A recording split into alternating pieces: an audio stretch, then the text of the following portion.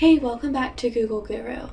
Adding comments is a great way to provide suggestions and feedback when collaborating with others on a Google presentation. Comments can be added to slides, text, images, and shapes. So let's go over how to add comments. Let's say I want to add a comment on this entire slide. I can either go to the top and click on Insert and then select Comment, or I could do a shortcut. I can hold down Control Alt M for Windows or Command Alt M for Mac.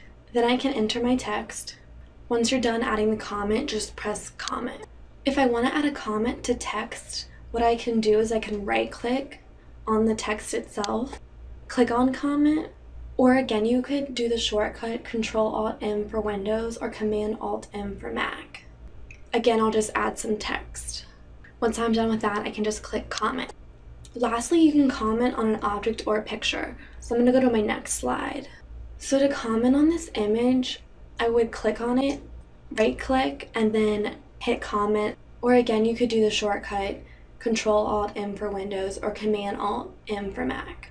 Now I'm gonna add my comment and press comment. You will receive email notifications for every comment added to the presentation. To control these notifications, you can click on the comments button in the upper right hand corner. Select notifications. From here, you can choose how you want to be notified. All means you will receive an email notification every time there's a comment on the presentation.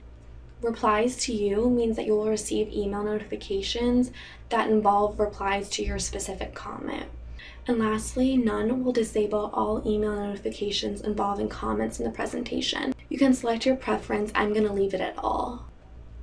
As you can tell, adding comments will enhance your collaboration in Google Presentation. Providing feedback and editing is easier than ever.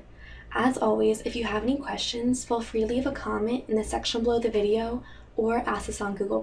Thanks!